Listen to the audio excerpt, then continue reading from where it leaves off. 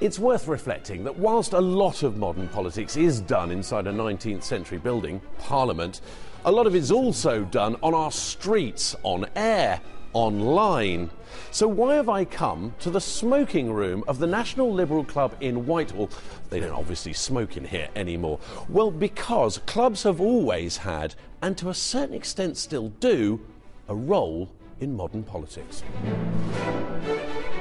There's the Great Fire of 1834, which uh, not only devastates Parliament, but for the next 30 years, Parliament is a building site, and you can't run the country from a building site. So a lot of the functions that we now associate with Parliament happen because MPs go in exile into their clubs, and they are literally running the country from London clubs. So Parliament's been a building site. What do they actually come up with?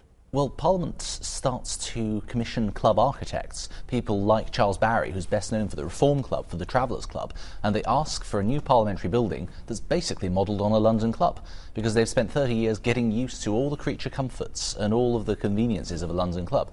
So this is why the parliamentary estate has smoking rooms, tea rooms. And have clubs played any role politically in the sort of modern political world?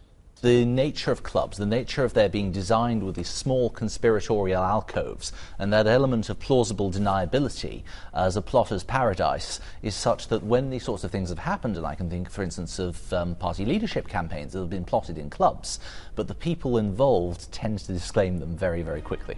The National Liberal Club clearly wears its political colours, but today many members are interested, not involved, in politics. However, there is a club that was, is, and one imagines always will be a political beast. The dining room of Torydom on earth, you might say, the Carlton.